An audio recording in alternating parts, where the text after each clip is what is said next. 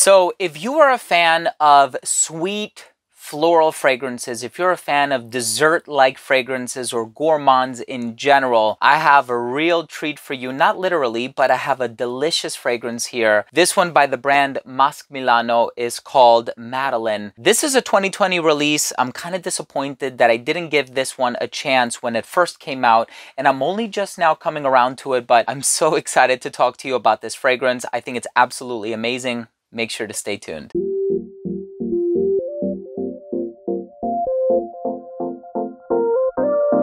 Now, before I begin this video and I talk to you about Madeleine by Masque Milano, which is an amazing brand, I do want to start things off by mentioning that if you are a fan of fragrance-related content, please do consider supporting this channel by subscribing to it. Make sure to enable all notifications by clicking on the bell icon, and of course, give this video a thumbs up if you enjoyed this video or if you take something of value from this review. Now, the creative director for this brand, I met him in person a few times.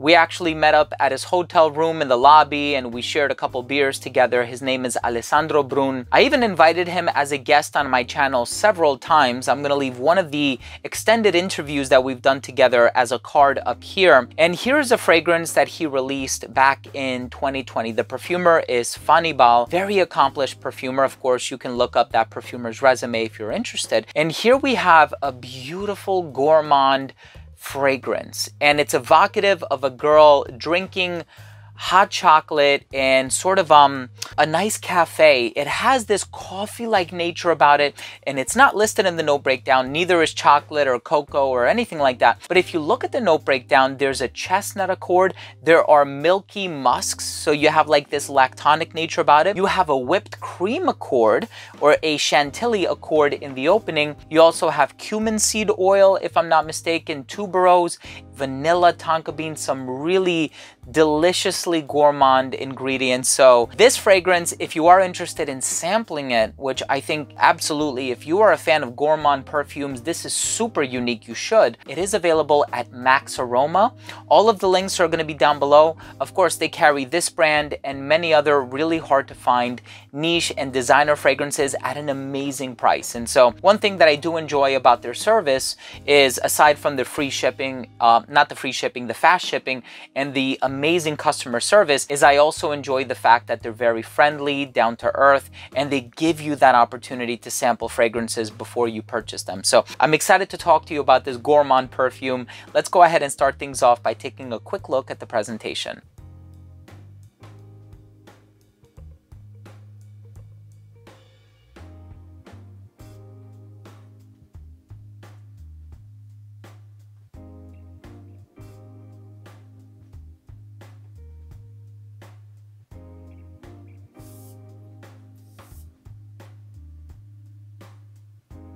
So right in the opening of this fragrance, you spray it on and immediately you get this coffee slash chocolatey slash vanilla vibe. And it's kind of like all of these ingredients are in a sense vying for attention. And interestingly enough, I did get a lot of that like hot chocolate, cocoa slash coffee vibe, but neither one of those two ingredients are listed in the note breakdown. Now you do get a chestnut accord, and one thing that I must say is that there is a very warm nature about this fragrance, warm and cozy. So it's the type of fragrance that I would love to wear in the colder weather, it's still quite cold here in New Jersey where I currently reside. And so this is the perfect type of fragrance for this type of weather. Once it starts dipping really low into the uh, tens or even single digits, man, this will definitely hold up in terms of the weighty nature of a lot of the ingredients in here. Now the vanilla in here it's beautifully delicious. It's not overpowering in the sense that you can still pick up on the tuberose in the heart, and there's a little bit of a spicy kick in the opening,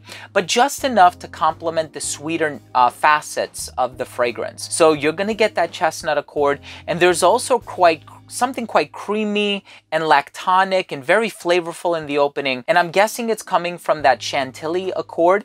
So you definitely get this vibe of whipped cream in the opening, definitely giving it like a dessert-like vibe. But one thing that I really appreciate is that it never becomes overly sweet or cloyingly sweet to the point where, you know, it kind of veers in like juvenile or like overly youthful territory, it doesn't do that, right? It's no pink sugar by Aquolina. But you are going to get those sugary facets in combination with some kind of more grounded notes like the tuberose and you're gonna get some subtle woods in the base. Nothing that is explicitly mentioned in the note breakdown, but you can tell there are a lot of properties sort of coalescing and coming together to give off that overall floral and gourmand scent. Now, in terms of this being a true gourmand, there are a lot of gourmand ingredients in here. The chestnut, the tonka bean, the vanilla, the cumin, the chantilly. There's a lot of edible ingredients in here. And I feel like that will distract you initially, but in the best way possible, especially if you're a fan of gourmand ingredients. Now, of course, if you're not a fan of gourmand ingredients, there are certainly many other fragrances from the brand that I would recommend you check out before this one. If you're a fan of ambers, check out Tango. If you're a fan of done slightly differently, I would check out Kintsugi. But there's so many fragrances from this brand that there's a lot of options to check out and this one is definitely one of the sweetest options from the brand, if not the sweetest. And I really love the idea and the execution. And I think that the perfumer Fanny Bal with the expertise of creative director Alessandro Brun did just a wonderful job with this fragrance. Let's go ahead and finish things off with my overall assessment. Now, first up, in terms of the uniqueness and the overall smell, I've tried a lot of fragrances with a whipped cream accord, and I've tried a lot of fragrances with vanilla and tonka bean. It seems like almost every fragrance out there has some level of vanilla and or tonka bean. This one is done so differently in the sense that sometimes I get a chocolatey nuance from it, sometimes I get a little bit of a coffee-like vibe from it. So it definitely goes in several different directions, but I truly truly love the end result of this fragrance. And I think they did a wonderful job, both the perfumer and the creative director, in creating a sweet floral perfume that smells quite different from other fragrances on the market. Longevity on this one is eight to nine hours on my skin, which is great. The projection was really good for the first hour of application. I'm not sure if it ever radiated beyond an arm's length, but the projection was pretty consistent in the sense that it didn't start to sit at about an elbow's length until like that fifth or sixth hour of application. It became a skin scent at like that seven or eight hour mark. In terms of the versatility, I think this one definitely gives off a formal occasion kind of a vibe. I think this one is perfectly unisex. I think the tuberose and geranium accents will appeal to somebody who's a little bit older. And I think the sweeter accents will also appeal to somebody who's a little bit younger. So I do sense this fragrance being rather versatile in my opinion. And I think this one is you know, basically functioning best for the colder weather. And so this is the best time to wear it. Of course, you can pull this off in the spring as well because we do get some pretty cool spring days here on the East Coast, especially where I live. And in terms of the presentation, I love it. The graphic, the name, the frosted glass, the white cap. My final verdict on this fragrance is it's such a unique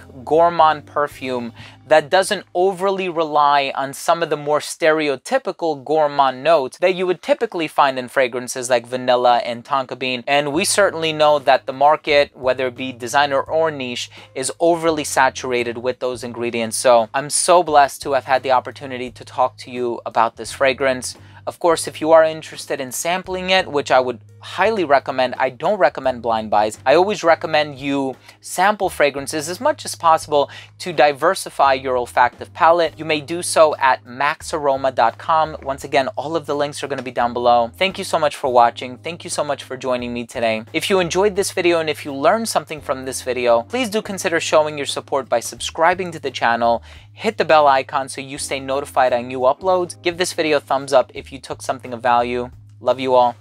We'll see you tomorrow. Bye.